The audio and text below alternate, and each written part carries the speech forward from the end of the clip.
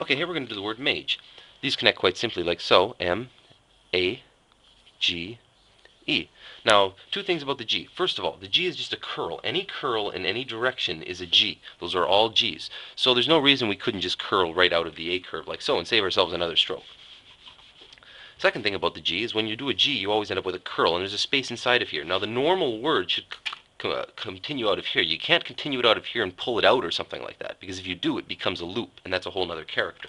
So you have to stop and then connect off of the outside of the G, kind of like with the vowels. So, because we can put something inside, we could easily put an E inside of here. And it's easily drawn by adding it onto the end of the curve like so, or you can loop the other way and go, oh, sorry, yes, this is the way we didn't go, like so.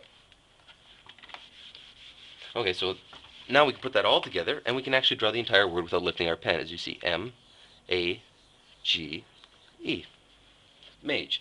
Now there's some other ways we can we can come at this word too. You don't have to try to draw it as simply as as I've done there, but that is beautiful in my mind because it's so cursive and easy. But you could go something like M A. Um, you could put the G like so if you liked even, and then put the E over here. That looks kind of neat. Um, you can separate them again. You can go M, A. You can have that bend there. I don't like it. It doesn't look very nice in my mind. But if you do it nice, and in certain circumstances, it can give you more options. And then you could even connect the G off like so if you wanted, and then put the E there or there. Or there's a ton of options. Or you can just go